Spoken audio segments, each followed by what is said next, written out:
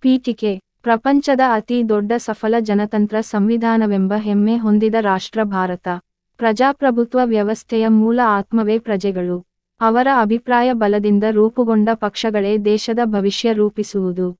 ದೇಶದ ಹಿತದೃಷ್ಟಿಯಿಂದ ಚುನಾವಣಾ ಆಯೋಗವು ಕೂಡ ಹಲವು ವಿನೂತನ ಕಾರ್ಯಗಳನ್ನು ಯೋಜಿಸಿಕೊಂಡು ಮತದಾರರನ್ನು ಮತಗಟ್ಟೆಗೆ ಸೆಳೆಯಲು ಪ್ರಯತ್ನಿಸುತ್ತಿದೆ.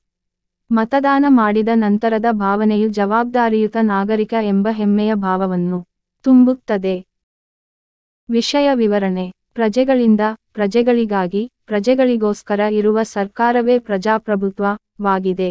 ಇದರ ಕೇಂದ್ರ ಬಿಂದುಗಳೇ ಪ್ರಜೆಗಳಾಗಿದ್ದಾರೆ. ಪ್ರಜಾಪ್ರಭುತ್ವದಲ್ಲಿ ಮತದಾರರ ಪಾತ್ರವು ಅತಿ ಮುಖ್ಯವಾದುದಾಗಿದೆ. ಪ್ರಜಾಪ್ರಭುತ್ವ ಪದವು ಡೆಮೋಸ್ ಮತ್ತು ಕ್ರಾಸಿಸ್ ಎಂಬ ಎರಡು ಗ್ರೀಕ್ ಪದಗಳಲ್ಲಿ ಮೂಲವನ್ನು ಹೊಂದಿದೆ.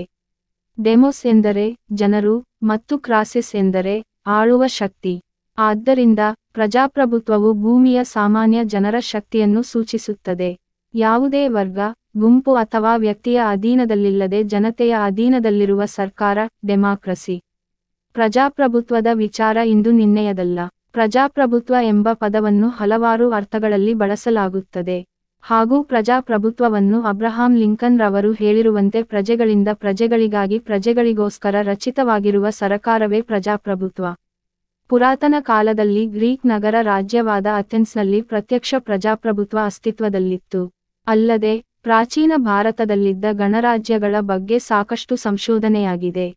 ಇತರ ಕೆಲವು ದೇಶಗಳಲ್ಲೂ ಇಂಥ ಪ್ರಜಾಪ್ರಭುತ್ವವಿದ್ದುದನ್ನು ಕಾಣಬಹುದಾಗಿದೆ. ಪ್ರಜಾಪ್ರಭುತ್ವದಲ್ಲಿ ಮತದಾರರ ಪ್ರಾಮುಖ್ಯತೆ. ಸಾಮಾನ್ಯ ಜನರು ಸರ್ಕಾರದ ಕಾರ್ಯನಿರ್ವಹಣೆಯ ಮೇಲೆ ಪರೋಕ್ಷ ನಿಯಂತ್ರಣವನ್ನು ಹೊಂದಿರುತ್ತಾರೆ. ದಬ್ಬಾಳಿಕೆಯ ಸರ್ಕಾರಕ್ಕೆ ಅವಕಾಶವಿಲ್ಲ. ಸರ್ಕಾರದ ಸಾಧನೆಯಿಂದ ತೃಪ್ತರಾಗದಿದ್ದರೆ ಮುಂಬರುವ ಚುನಾವಣೆಯಲ್ಲಿ ಸರ್ಕಾರವನ್ನು ಬದಲಾಯಿಸುವ ಅಧಿಕಾರ ಸಾಮಾನ್ಯರಿಗೆ ಇದೆ. ಸಾಮಾಜಿಕ ಅನಿಷ್ಟಗಳ ವಿರುದ್ಧ ಧ್ವನಿ ಎತ್ತುವ ಮತ್ತು ಸಮಾಜವಾಗಿ ಒಗ್ಗೂಡುವ ಶಕ್ತಿ ಜನರಿಗಿದೆ. ಭಾರತದಂತಹ ಪ್ರಜಾಪ್ರಭುತ್ವದಲ್ಲಿ ಪ್ರತಿಯೊಬ್ಬರ ಮತವನ್ನು ಸಮಾನವೆಂದು ಪರಿಗಣಿಸಲಾಗುತ್ತದೆ. ಆದಾಗ್ಯೂ, ಪರೀಕ್ಷೆಯು ಯಾವಾಗಲೂ ಅರ್ಹತೆಯ ನಿಜವಾದ ಪರೀಕ್ಷೆಯಲ್ಲ. ಚುನಾವಣೆಯ ವಿಷಯದಲ್ಲೂ ಇದು ಕೆಟ್ಟ ವ್ಯಕ್ತಿಗಳು ಸಹ ಆಗಾಗ್ಗೆ ಗೆಲ್ಲುತ್ತಾರೆ ಮತ್ತು ಒಳ್ಳೆಯವರು ಸೋಲುತ್ತಾರೆ, ಏಕೆ? ನಮ್ಮ ಮತದಾರರಿಗೆ ಮತದಾನದ ಮಹತ್ವ ಗೊತ್ತಿಲ್ಲ. ನಮಗೆ ತಿಳಿದಿರುವ ಬ್ಯಾಲೆಟ್ ಪೇಪರ್ ಕೇವಲ ಕಾಗದವಲ್ಲ. ಇದು ಅತ್ಯಂತ ಶಕ್ತಿಶಾಲಿ ಆಯುಧವಾಗಿದೆ. ಒಂದು ಹನಿ ರಕ್ತವನ್ನು ಚೆಲ್ಲದೆ ಸರ್ಕಾರವನ್ನು ಬದಲಾಯಿಸುತ್ತದೆ. ಪ್ರಜಾಪ್ರಭುತ್ವದಲ್ಲಿ ಮತದಾರರ ಪಾತ್ರ ಮತದಾರರಿಂದಲೇ ಉತ್ತಮವಾದ ಪ್ರಜಾಪ್ರಭುತ್ವವನ್ನು ಸೃಷ್ಟಿಸಲು ಸಾಧ್ಯ. ಆದ್ದರಿಂದ ಪ್ರಜಾಪ್ರಭುತ್ವದಲ್ಲಿ ಮತದಾರರ ಪಾತ್ರವು ಅವಶ್ಯಕವಾಗಿದೆ. ಭಾರತದ ಸಂವಿಧಾನ ನೀಡಿರುವ ಮತದಾನದ ಹಕ್ಕನ್ನು ನಾವು ಗೌರವಿಸಬೇಕು. ಯುವಕರು ಹದಿನೆಂಟು ವರ್ಷ ತುಂಬಿದ ಕೂಡಲೇ ತಮ್ಮ ಮತದಾನದ ಹಕ್ಕನ್ನು ಚಲಾಯಿಸುವುದು ಸೂಕ್ತ.